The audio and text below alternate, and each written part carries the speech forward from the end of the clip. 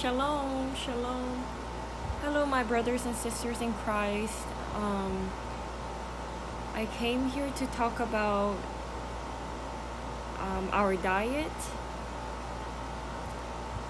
which is my current struggle. Um, I think the Lord has put in my heart to go vegan or vegetarian. And when the Holy Spirit first put in my heart to um, like a disgusting feeling every time I see a red meat, like steak, which I used to love, because um, I'm Asian. I like stir fry um, steak uh, with vegetables, but um, few seasons back, the Holy Spirit has put in my heart to stop eating red meat. Um, before that, Holy Spirit convicted me of pork um, because my uh, ethnicity is South Korean and Asians love pork. Um, South Koreans love pork belly, and um, you know how the Lord speaks to us through many different ways, uh, through signs and wonders, sometimes audibly, or He speaks through um, different people.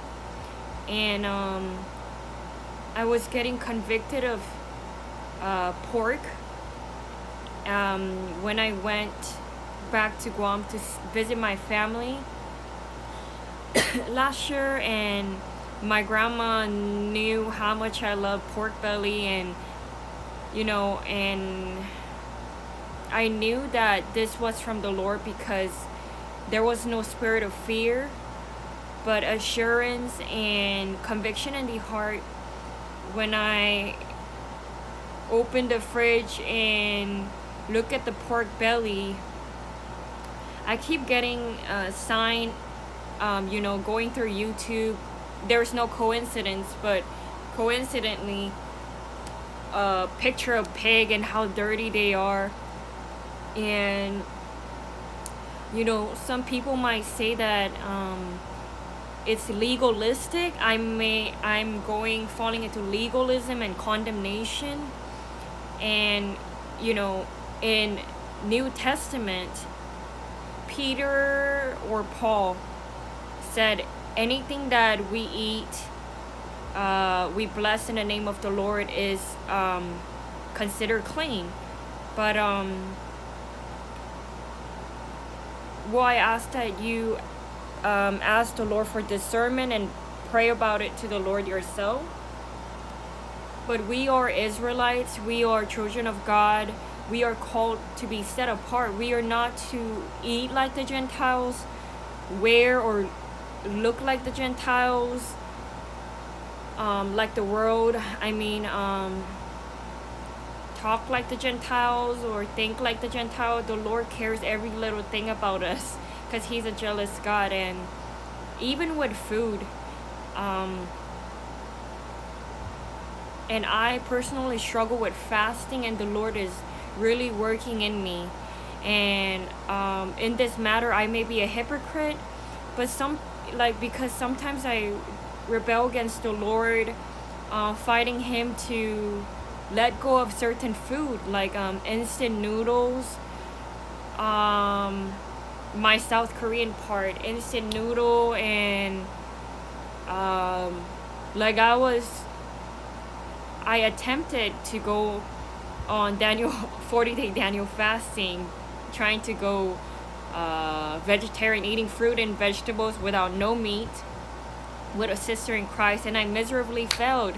Um, in week three, I think I like secretly behind my sister's back, I went to Panda Express and um, ate meat, and my body was craving meat like crazy. And I want to say that you cannot fast or overcome your sin or addiction, any willful sin, even meat or any food that you really like that you have hard time giving up without prayer. Prayer really works. And um just humbly ask the Lord to help you. Make sure your heart is right. Make sure you're not fasting for wrong reason to lose weight. I know it's a great feeling you're dropping some pounds, but um, just make sure your heart is right. I was um, asking the Lord, I'm still asking Him. I do uh, really, sometimes my flesh just wants meat. And um, especially when, like, stress eating, I had a binge eating disorder since my early 20s. Um, overeating or starving, overworking out, conceited, insecure, uh, body dysmorphia, trying to meet the standard of this world. Um, where was I going with this? Um, yeah.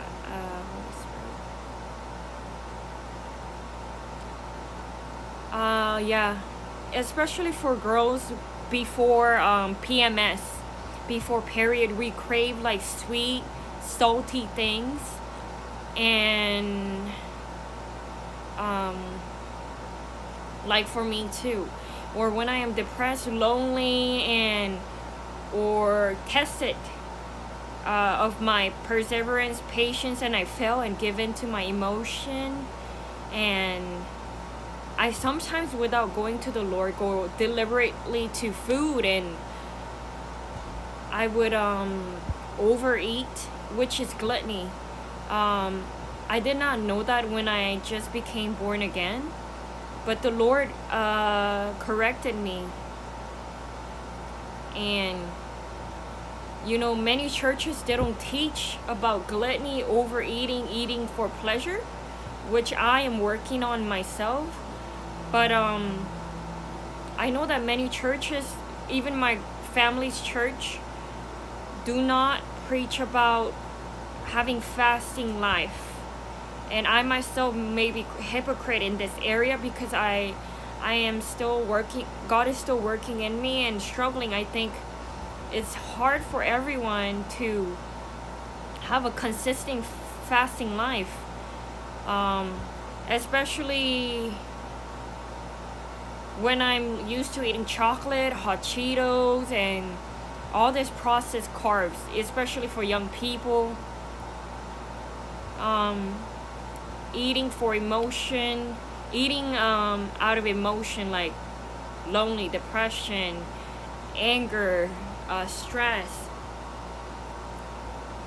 Um, yeah, I was going. I lost track of my thoughts, but um, the work, the Lord is working in me on my fasting and my diet. Um, really, your faith is tested as you get more and more mature in the Lord, your faith is tested like how Abraham uh, was asked to give up Isaac on the altar.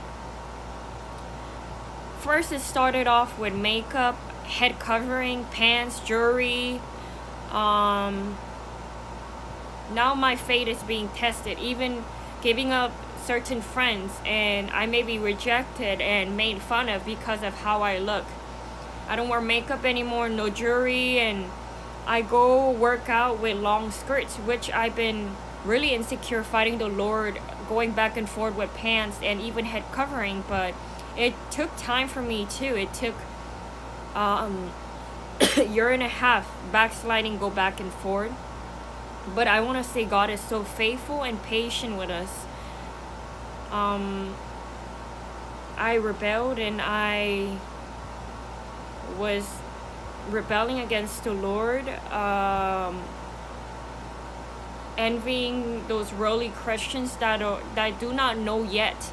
I'm sure the Lord will have mercy on them and is working on them. Um, I'm a work in progress. And now, recently, the Lord is, um, I believe God is calling all His children to stop eating red meat and I thought first I got convicted with pork and recently with red meat. I didn't know about chicken, but God made that clear about um, when I had a boiled egg at work and um, like a Colby Jack cheese sticks from work. I wasn't sure because my sister in Christ said something about egg and what they're doing to these animals, giving um, st- uh, steroids or DNA modifying, and God does not want us to eat those things because our body is holy temple, and even you know how the jab could uh, change our um, DNA and stuff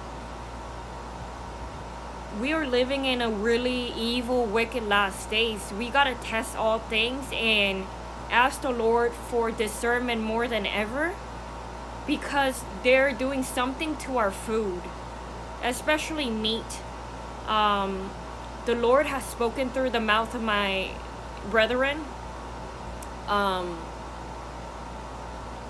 and it led me, I knew about this, but it led me to look it up myself 70 over 70% of our food comes from a factory animal. These animals are trapped, never see light. They are confined in a small area. They were born to be bred and um, abused.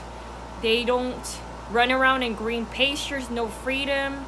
Um, that's why even milking cows, dairy, cheese, the Lord wanted me to give up because when I had uh, boiled eggs and uh, you know meat stick from dollar store and uh, cheese sticks that night I had horrible nightmare. And um, it was so horrible.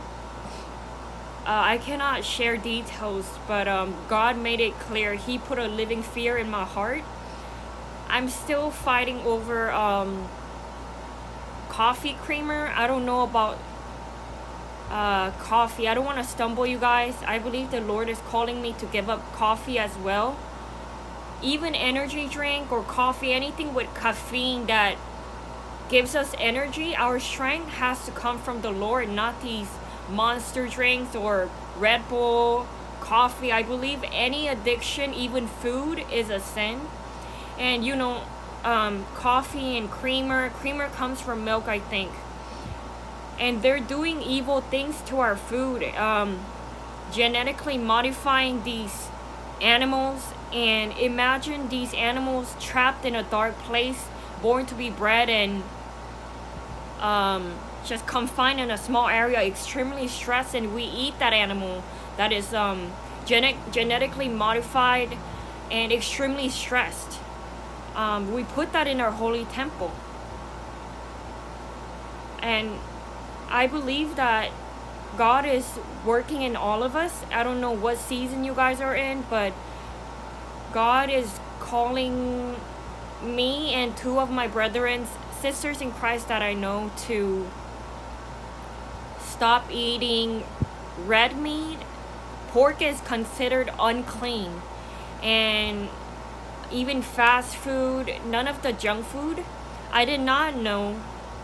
Um, God is really changing me. Junk food is basically garbage, and our temple is um holy temple, and we're just disposing garbage, junk in our body, and and um, God is working in me.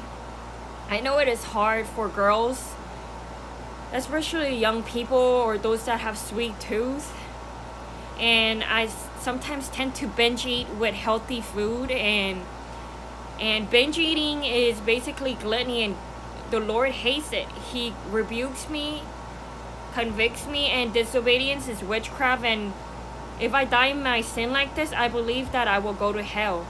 And once saved, always saved is a false doctrine. But have faith, my brethren. Um,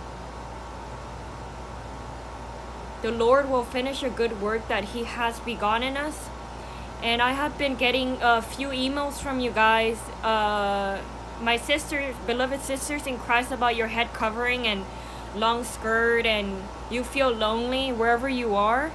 Um, you don't feel welcome in the church, but I'm not here to say don't go to church and cause division. you're not alone. I am also feel lonely, sometimes made fun of, or feel re- I get rejected too. We are called to be rejected and set apart and to look different. The Lord is purifying us, refining us, and um, making us spotless for our bridegroom, Jesus Christ, before his second coming. And um, I know sanctification is very slow and painful process. And our faith is being tested. It's not always easy, this walk. There's a period of grace and also um, trials, tribulation, and it's just so painful to be sanctified, but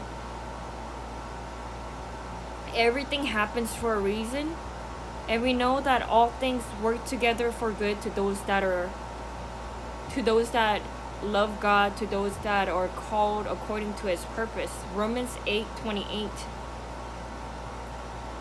Um, I keep losing train of my thoughts, but um, I do believe, my brethren, the Lord is calling us out to stop eating red meat and um, pork. Um, I think He's calling me out to eat, stop eating bottom feeders, which is shrimp and uh, crabs, all those shellfishes. And you may say that that's legalism and I'm being a Pharisee, but I ask you guys to take it up to the Lord. Um, the Lord wants what's best for us, and He looks after His own. And I believe I'm being called to be vegan, and I'm really struggling myself. Please pray for me and keep me in your prayer so that I may have a consistent uh, praying and faster lifestyle and I will keep you guys in prayer as well. I love you guys and I wanted to let you know you guys are not alone, especially my sisters in Christ that are insecure and God is working in you to give up the makeup and for you to wear head covering and long dress, even to work out at all times. You are not alone. I've been there and it took time. Stay encouraged, my brethren.